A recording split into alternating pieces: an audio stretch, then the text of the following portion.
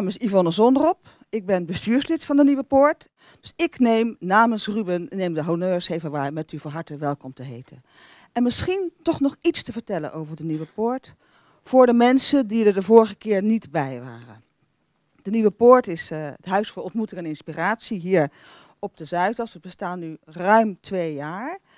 En het is een idee uh, geweest van Ruben van Zwieten. En hij heeft een aantal mensen meegenomen uh, om hen te inspireren hier iets neer te zetten waar je in een wereld waar toch vooral heel veel uh, hard wordt gewerkt, geld wordt verdiend, de, de wetten van de economie gelden, ook aandacht te vragen voor die andere belangrijke dingen, zoals uh, oude bronnen, zoals lezen, zoals nadenken, zoals menselijke verhoudingen. Laat daar toch alsjeblieft ook ruimte voor zijn in een plek als de Zuidas. De meeste van u zijn vorige keer hier al geweest uh, voor de eerste aflevering van de Tafel van 12.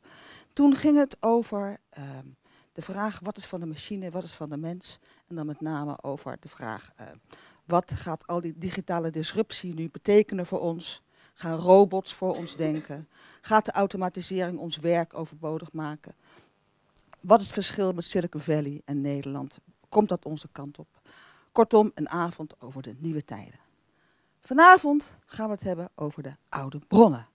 Want de paraplu van het programma, uh, de Tafels van 12, is het idee oude bronnen, nieuwe tijden.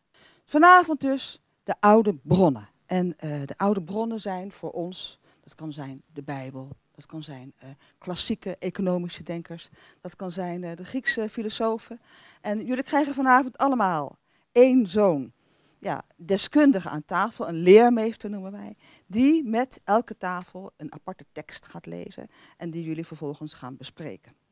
Deze leermeester gaat op het einde ook nog een uh, huiswerkopdracht geven, zodat jullie ook nog wat mogen nadenken over wat er vanavond gebeurd is.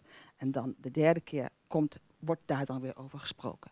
Maar eerst wil ik toch nog wat dieper ingaan op die oude bronnen. En daarvoor wil ik heel graag naar voren roepen Ad van Nieuwpoort, predikant de Bloemendaal.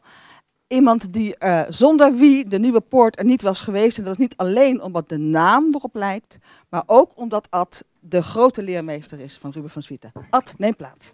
Dankjewel.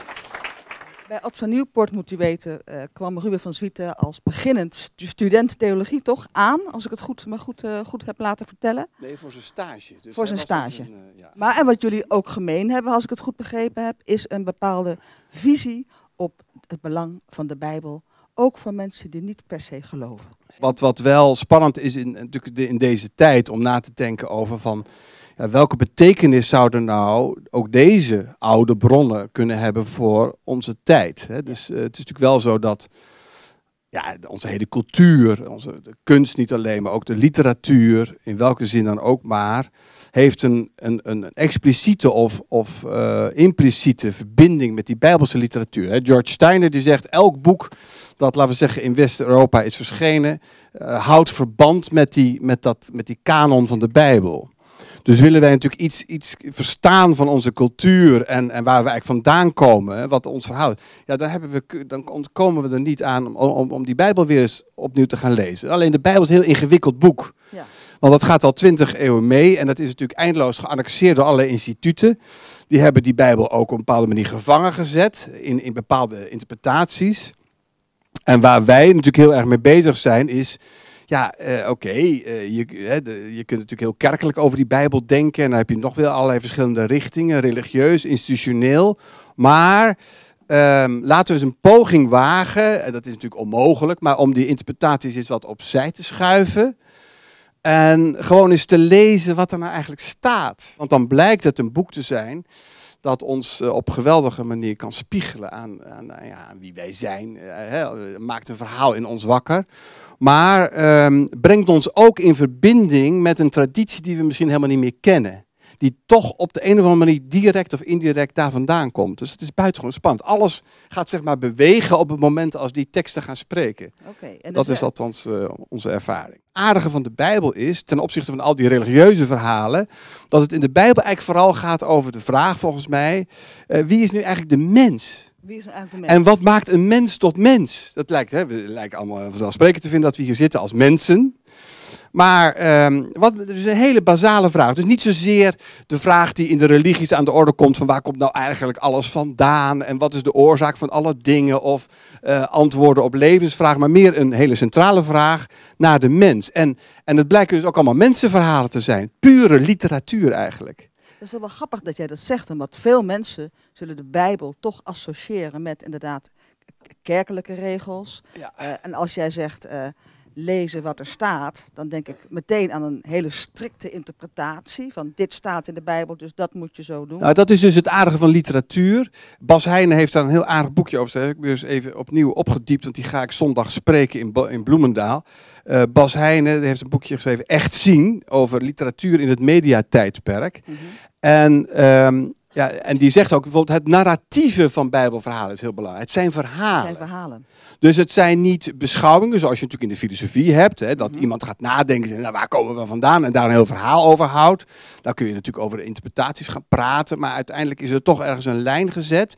Terwijl verhalen hebben in zich dat ze heel bewegelijk zijn. Het gaat gewoon over uh, een Abraham en die heeft een vrouw. Dat hebben heel veel mensen. En uh, wil een kind, maar dat lukt niet. Allemaal hele, dat je denkt, moeten wij dat nou lezen? Maar het grappige is in, dat, in, in die verhalen over gewone mensen met, met, met kinderen en met problemen en, en, en, en, en, en vragen en worstelingen en geloof en ongeloof. Uh, ja, uh, wordt het mogelijk om iets van ons eigen verhaal te ontdekken. En Bas Heijnen vind ik wel aardig. Die zegt dus ook, ja, waar is literatuur nu eigenlijk uh, voor bedoeld? En ik vind dat in deze tijd zo ongelooflijk belangrijk. Want wij zitten eindeloos in ons eigen kringetje te denken. He, dus als wij met sociale media of überhaupt met de media bezig zijn, zitten we naar ons, onszelf te kijken. We, we, we proberen van dingen iets te vinden, maar we komen eigenlijk vooral voortdurend onszelf tegen. En wat deze tijd zo hard nodig heeft, is een instantie van buiten ons. En, en, en ook Bas Heijnen zegt, dat is, de literatuur is daar een heel geëigend middel voor. Een soort kritische spiegel die ons wakker maakt en, en de vragen bij ons oproept. Ja, waar gaat dit eigenlijk allemaal over? Dus hij zegt dan bijvoorbeeld, vind ik heel aardig, dus de menselijke verbeelding, wat vanuit onszelf komt, trekt op een bepaalde manier een sluier voor de werkelijkheid. Dat zie je nu ook met die hele vluchtelingenproblematiek. Iedereen vindt daar wat van. En het ene moment zien we allemaal een foto van een kindje op een strand. En zijn daar allemaal geweldig van onder de indruk. En gaat het discours die kant op. Maar op het moment dat er iets misgaat in een vluchtelingencentrum, eh, dan gaat het discours ineens weer allemaal, allemaal rennen we daar achteraan, gaat het weer die kant op. Dus dat is een beetje de sluier voor de werkelijkheid. Namelijk de vraag, wat gebeurt er nou ook echt? En dan zegt uh, Bas Heijnen, dat vind ik toch wel aardig, eh, eigenlijk heel raak. Het is de literatuur die de sluier afrukt. Paradoxaal genoeg door middel van de fictie het verhaal. Het is de literatuur die de mythe ontmythologiseert, die het cliché ongeldig maakt, het gemakzuchtig in goed en kwaad denken in een ander licht ziet. Dat vind ik eigenlijk fantastisch gezegd. Daar heb je literatuur voor nodig. Daar, kun je dus niet, daar kom je eigenlijk zelf niet op. Want wij zitten een beetje te denken. En, je weet, en op grond waarvan baseer je je opvattingen, weet je eigenlijk ook nooit precies. Dus literatuur helpt ons om kritisch na te denken over wat wij eigenlijk denken. En wat wij vinden. En, en, en wat er gebeurt. En dan zeg jij, de Bijbel is eigenlijk de oerliteratuur. Uh, ja, ja, zoiets. Ja. Nou zei je net, dat spreekt mij ook erg aan, ook in verband met onze vorige bijeenkomst. De Bijbel gaat toch ook over de vraag, wat maakt ons tot mens? En dan weten de meesten van jullie wel dat vorige keer natuurlijk het thema was van wat is van de machine en wat is van de mens? Wat gaat de robot doen? Wat blijft er voor de mens over? Dan kan ik me niet indenken dat de Bijbel het over robots had of machines had. Ja, op een bepaalde manier ook weer, ja, niet over machines in de zin van uh, over die digitale werkelijkheid natuurlijk, maar wel uh, wordt er nagedacht over. Bijvoorbeeld, je hebt een fantastisch verhaal. Kijk even naar Alex. Hoe ging het ook weer? Van die reuzen in Genesis bijvoorbeeld. Dat zijn eigenlijk geen mensen, maar dat zijn reuzen. En dan zou je zeggen, vroeger in de kerk was het natuurlijk allemaal, oh, daar moeten we in geloven dat er ooit reuzen waren enzovoort. Weet je wel. Maar dat, eigenlijk is ook in zo'n verhaal is men bezig om na te denken over een type, over een verschijnsel.